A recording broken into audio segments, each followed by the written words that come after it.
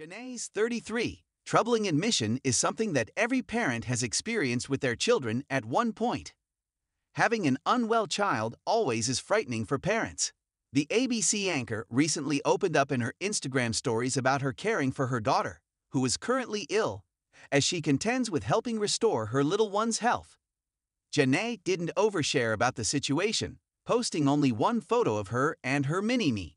The TV personality cuddled her daughter in her arms while they snuggled on the living room couch. Janai had a frown on her face and appeared to be completely exhausted.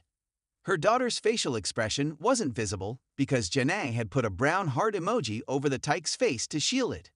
She captioned the story slide, Sick Baby Struggles. Janai is the mother to the sick baby as well as her son Blake. Janai prefers to keep her daughter's name and additional info about her husband and son out of the public eye. The journalist will soon be the mother to a third child also. Janai divulged earlier this year that she and her husband, Eli Norman, were going to be having a third child. Those supporting her figured out she was carrying another kid before the newscaster realized she was.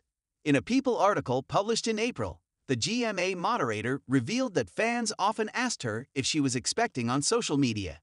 The Saturday before I found out there were two different viewers who commented in places and were like, hey, is Janai pregnant? She told the publication. And even that day that I found out, I posted a picture that said, caption this, and somebody said, surprise pregnancy.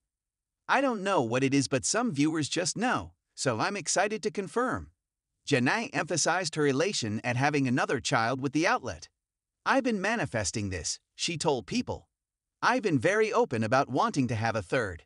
Just before I found out, I told friends at lunch, I really feel like things are starting to clear out to allow me to welcome the blessing. Fans on Twitter shared their happiness for Janai, congratulating her on her blessing. Congratulations on baby number three. You are an incredible mom. Make your baby come out healthily, one fan tweeted. Janai first shared the news on GMA while discussing her educational show, Oh Baby on Sunday. You know, on the show, we talk about baby animals of all kinds. Well, this one is actually about our favorite types of babies, right, human babies. She said. Co host Whit Johnson, 41, seemed shocked and asked, What? I'm having another one, Janai quickly answered. Confetti then exploded as Janai celebrated with Whit, Gio Benitez, 37, and Somara Theodore. Janai's good news came after she shared a cryptic post with fans in February. The post talked about being a stressed out career woman after experiencing childhood trauma. Janai posted the video on her Instagram stories.